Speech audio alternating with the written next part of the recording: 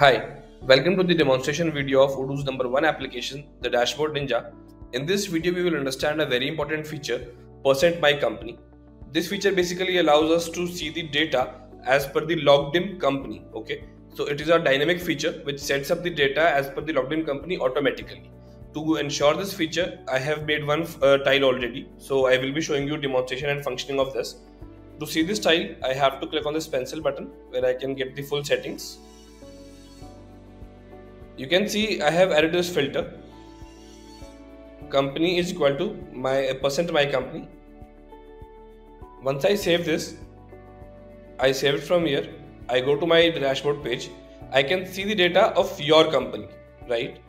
Once I change the company to San Francisco you can see the data has been changed.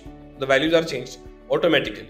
So every time when I will log in with San Francisco, the data of the dashboard will be showing a different value. That is for the San Francisco company.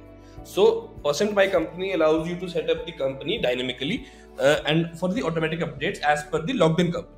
Thank you so much for watching this video. I hope this will be of great help. In case of any other questions or queries, you can reach us at sales at the rate Thank you.